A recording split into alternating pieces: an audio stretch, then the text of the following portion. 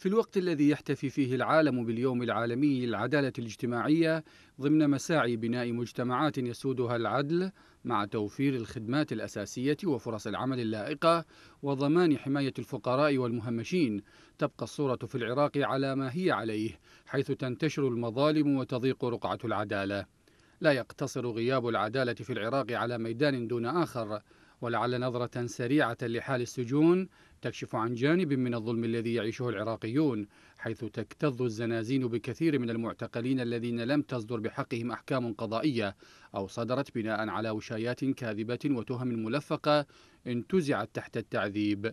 بينما يموت آخرون منهم بسبب غياب الرعاية الطبية في سجن الناصريه على سبيل المثال حيث يكتظ السجن بالمعتقلين باعتراف وزارة العدل نفسها. كل ذلك يجري بينما يبقى الجناة الحقيقيون طلقاء كما هو الحال مع قتلة متظاهري ثورة تشرين الذين يسرحون ويمرحون دون أن تمسهم يد العدالة المتوهمة. وهو ما حدا بالنائب سجاد سالم إلى القول إن رصيد العدالة في العراق بات صفرا بعد الإفراج عن الضباط المتهمين بقتل الناشطين. غياب العدالة الاجتماعية طغى أيضا على الواقع الاقتصادي حيث تسرق ثروات البلاد وتنهب جهارا نهارا بينما ترتفع معدلات الفقر إلى مستويات قياسية.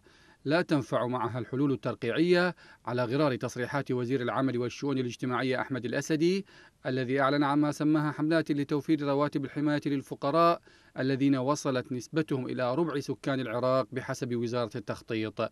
لا سيما بعد تدهور قيمة الدينار أمام الدولار نتيجة الفساد وتهريب العملة إلى الخارج. هذا فضلا عن الظلم المركب الذي تعيشه شريحة النازحين الذين دمرت بيوتهم حيث يضطر 71% منهم إلى العيش في بيوت مستأجرة بحسب منظمة ريتش الدولية للإغاثة الإنسانية. كما يحرم مليون عراقي من حقهم حتى بالحصول على وثائقهم الثبوتية. العدالة في العراق شعار براق. يخفي وراءه تفاصيل كثيرة وحقائق دامغة عن حجم الظلم الذي يعيشه العراقيون. وهم ينتظرون يوما تتحقق فيه العدالة على أرض الواقع ليكون للاحتفال بهذا اليوم معنى آخر.